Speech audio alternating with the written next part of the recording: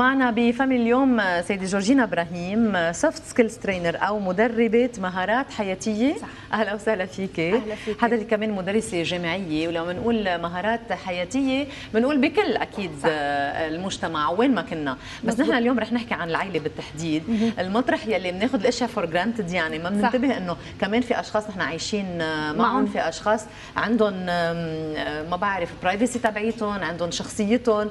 مش دائما ناخذهم يعني هيك إنه شيء مكتسب. شيء يعني خلص ضروري إنه يكونوا عايشين. معنا وعلى ذوقنا.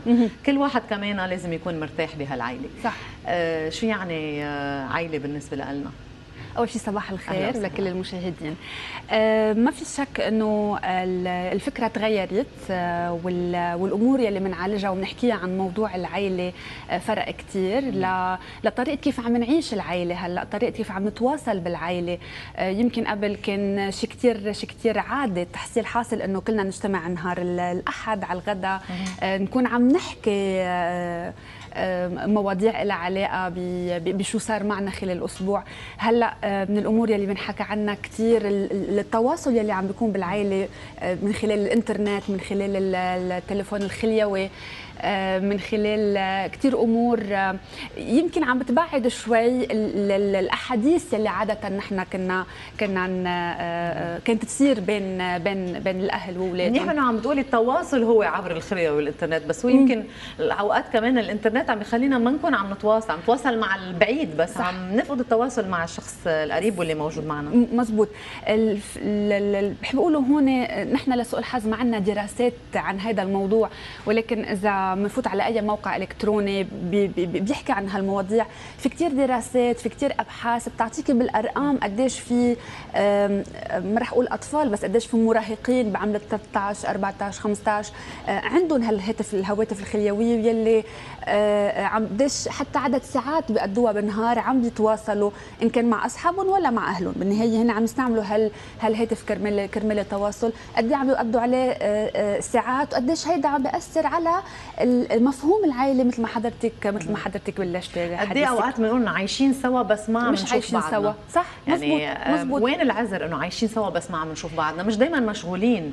يعني فعلا بشغل ما بنقدر نستغني عنه لحتى نتواصل سوا. بس مشغولين بكل الأشياء يلي التكنولوجية يلي, يلي متاحة لنا. بس كنا عم نحكي اتيكيت واتيكيت بال بالعائلة. على طول بيكون المسؤولية على الأهل. يعني لما إذا إذا عم نحكي إنه في مشكل بالتواصل بين الأولاد والأهل الحق على الأهل. وفي هيك مثل قاعدة ذهبية بنحكيها بالإتيكيت بما يتعلق بالعائلة. إنه إذا الأهل بدهم شيء من أولادهم بدهم هن يكونوا المثل. يعني إذا بدنا أولادنا إنه يحكوا معنا نحن بدنا نناديهم لحتى يحكوا معنا. إذا بدنا إنه أولادنا يعرفوا يتصرفوا صح نحن بدنا نتصرف نتصرف صح. فالقاعدة الذهبية هي إنه مثل ما بدكم أولادكم يكونوا أنتم كمان كونوا إن كان بالتصرف إن كان بالحكي إن كان بالسلام إن كان باللبس بال بالتعاطي مع الآخرين.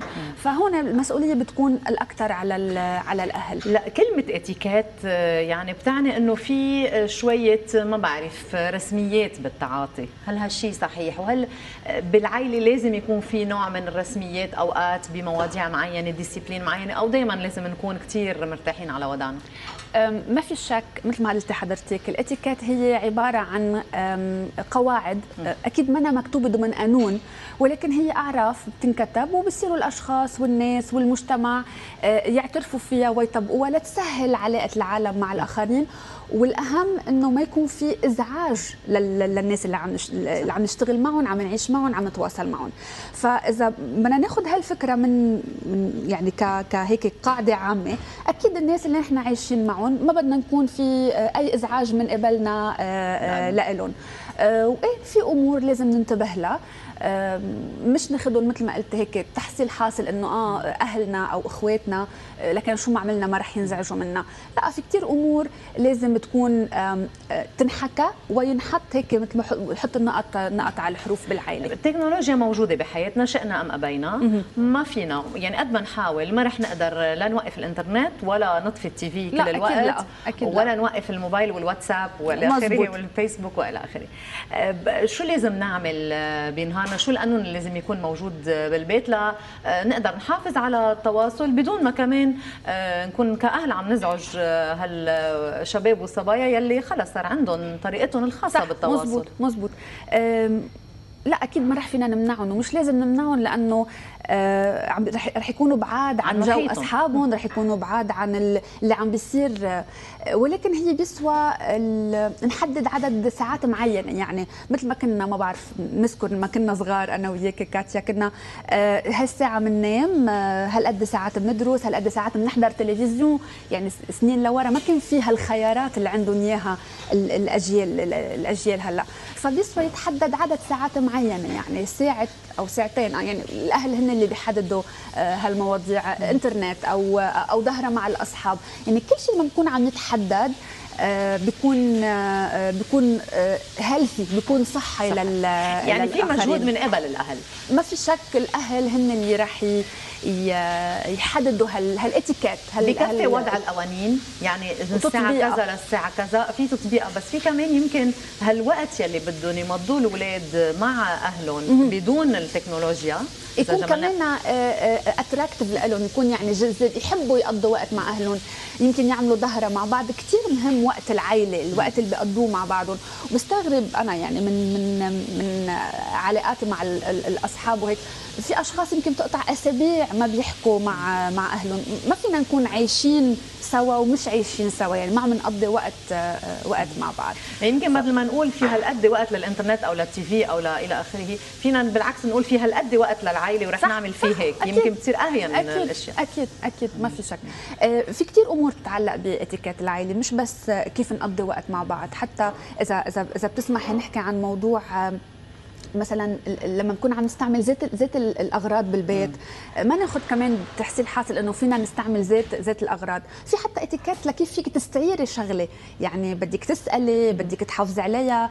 وبيقولوا حتى بالإتيكيت مرحلة كثير نفصلها. يمكن في ناس ما كثير تحب تحب الفكرة. ولكن إذا شغلة كثير كثير كثير غالية عليك ما تعريها لحدا. احترام خصوصية الآخرين. هي كانوا بقلب العائلة. خاصة لما نتدرب على طريقة معينة بالحياة ضمن البيت وضمن العائله هالشغلة بنطبقها لا شعوريا بالمجتمع صح يعني مزبوط بالعمل بال ما هو لما بتشوفي أشخاص إن كانوا بالمطعم إن كانوا بالمستشفى حتى يعني كل كل كل محل له له قوانين وله اتيكيت خاصة فيه. لما بنبلش نطبق الاحترام ونحترم غيرنا ويكون في عندنا مثل بالبيت اللي هو الأهل الأم والبي أكيد أكيد الأولاد اوتوماتيك رح يعني بطريقة هيك تلقائية رح يتصرفوا بطريقة صح برات البيت.